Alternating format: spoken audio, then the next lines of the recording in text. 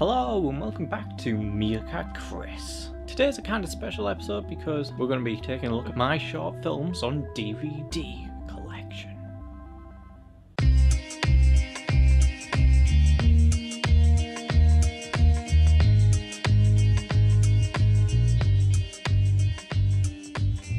It's quite a few.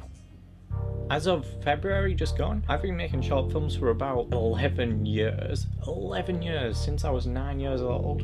And if you do the maths, you could probably find out how old I am right now, so.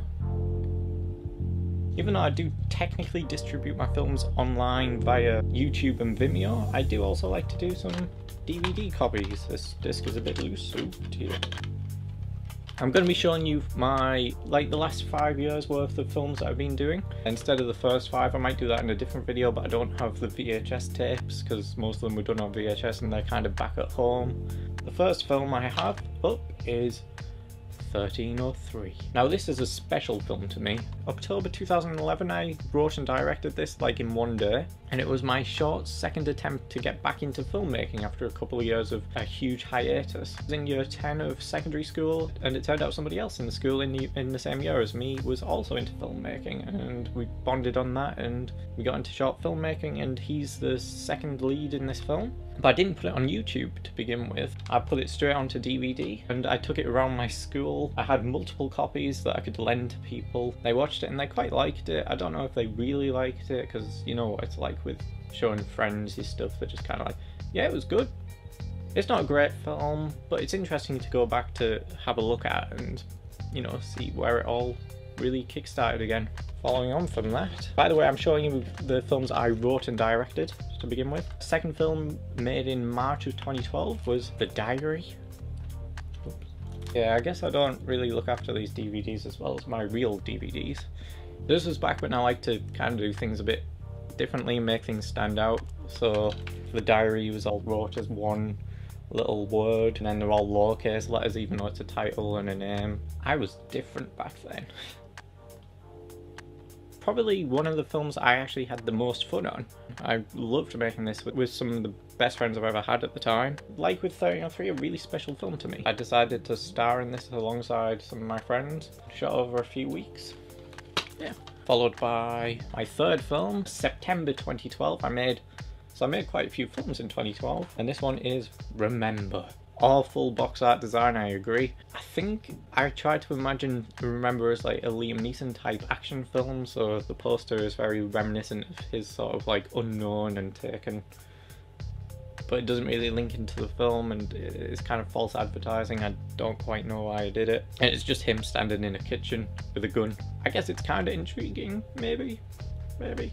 This was actually a remake of one of my own films. Like I said, 1303 was my second attempt to get back into filmmaking after a while. My first attempt was literally about a week or two earlier. It was called Remember, and I never finished the edit because I just thought it was awful and I didn't want to show anybody it because it was just embarrassing and it was just terrible. And it was a lot worse than probably any of the films I've done since. It's that bad. I don't know, I went back to it when I didn't really have any other ideas and I don't hate it that much. I like some of the camera work, even if the lighting is terrible and I didn't really do much with the settings and the camera. But the actual camera work, there's some nice shots in there that I'm pretty proud of.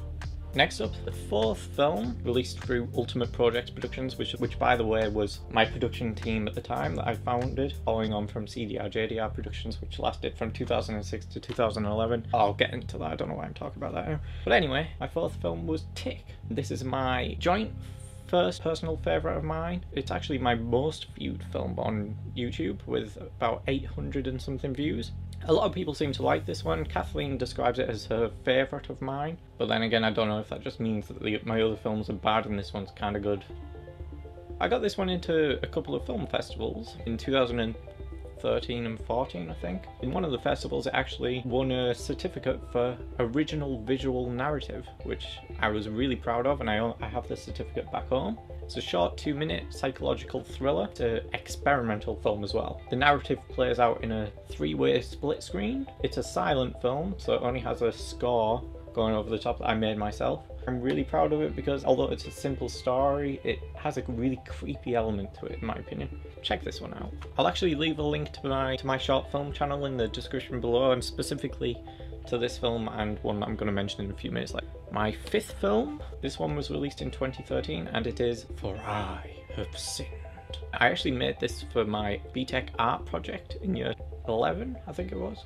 Uh, I think I got full marks for it as well. We were meant to do something actually physically art related, but I actually asked if I could make a short film instead, and my art teacher really generously allowed me to, and I produced my longest film to this date. It's about 15 minutes long. It has a very TV drama sort of feel to it. With this, I kind of felt that kind of like a theatrical sort of taste would go with it, which you can see quite a lot in the editing and the music choices and the way the camera moves and stuff. This was actually the first film I shot in a DSLR, which is specifically this DSLR that I'm shooting this video on. And now we're on to the final film that I actually wrote and directed in Ultimate Projects Productions. This one is also 2013, October of 2013. Small little psychological horror, Unbidden.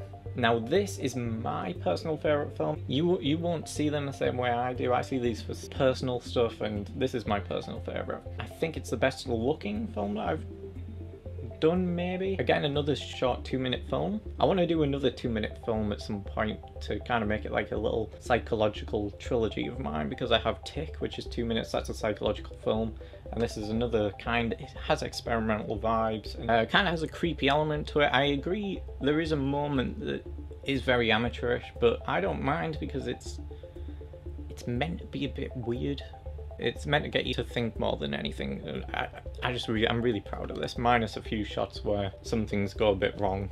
So like I said earlier, I think you should check out Tick and Unbidden, if any of them. Now before we get to my most recent films, I'm going to take a look at some films I helped produce and maybe just some of the cinematography on uh, for my good friend Dylan, and that was Mob, which I don't know if you can watch on YouTube because it keeps getting taken down for copyright strikes because Dylan had a habit of putting actual licensed music in his films, which gave it a quirky vibe. Kind of reminds me of Quentin Tarantino and Martin Scorsese, but it's a shame. This was his first film in Ultimate Projects Productions because I I wanted him to make some films in Ultimate Projects Productions to really get other people to make short films as well as me. Maybe my favourite of his that he's done, The Man in the Hat. I designed all these box arts by the way, even though it's my good friend Dylan's film. I did the DVD artwork just so you know. His final film I have on DVD, which is Vice. This might also be my favourite poster that I've designed, which is me, my good friend Connor, and my good friend Dylan. All of these are taken from screenshots of the film. It's kind of cool. I think it's kind of cool. This also has a few licensed music in it. He has stopped doing that now. It, it adds a bit of charm to the films, I think. So I don't really have any, anything against him having used them in the past. This one's actually a fun film, and although we do have another Dylan Nicholson short film in Ultimate Project Productions known as Peak, which is a, short three minute horror film. I don't have a box art for it because I could never figure out a decent box art. I'll have to do it at some point because it's left out of the collection, but yeah, that's it for Ultimate Project Production films. And now we're on to my latest production company name, which is Unbidden Pictures. Uh, yeah, it's named after the last film that was ever released in Ultimate Projects Productions, which was Unbidden. And as I mentioned, my personal favourite short film that I've done. It has a nice ring to it. Unbidden Pictures. The first film I did was back in December of last year, which was Fall of a Nation the prologue. Maybe this is the best short, uh, best looking short film I've done. It's the first film that I used my glide cam on. Some stuff in this I really like. Check it out if you want. It's a, I think it it's technically good. Maybe not narratively. I'm starting to have issues with it as the more I watch it, but technically I really like this film and I'm looking forward to making some more Fall of a Nation anthology films in in the future. And I do have one more short film in Unbidden Pictures, but I don't have a physical DVD release of it. The Contract Killers at Christmas, which a lot of my friends and family actually seem to really like, uh, which was surprising to me because I thought that it would be Fall of a Nation that would get talked about, but I guess it's not really that good, which is a bit of a shame because that was my passion project, whereas Contract Killers was just kind of a last minute thing. It was incredibly rushed. A lot of the script doesn't really make sense because I only did one draft and then all of a sudden we were shooting it and stuff didn't really get changed and then we didn't get to film the actual ending and I had to figure out a way of doing it without actually having some of the actors there. But anyway, here's a, a quick look at, here's a little, what the heck was that? Here's a quick look at what I'm actually working on for an actual printout. It'll be fun when I actually have a printout of it and have it alongside the rest of my collection. And here's the moment that I've been looking forward to. Here's the actual full set of those films. You'll notice how they all line up and match up. I'm kind of proud of that because I designed them from 1303 to be that way. like having my DVDs and Blu-rays kind of match up if they're related to each other. They look consecutive in design and followed that through with Unbidden Pictures one. It is kind of pointless having them on DVD when they're all online everywhere, but I like to own a copy of a film, like a physical copy. So yeah, that's the end of the video. Thank you for watching. I hope you at least kind of enjoyed the video, because this one's a bit more of a personal thing to me, you know, because it's my short films. Uh, if you like the video, why not like and subscribe, because it really helps the channel out, and I really hope you do, because I'd love to see you around the channel more often. Thanks for watching. Bye.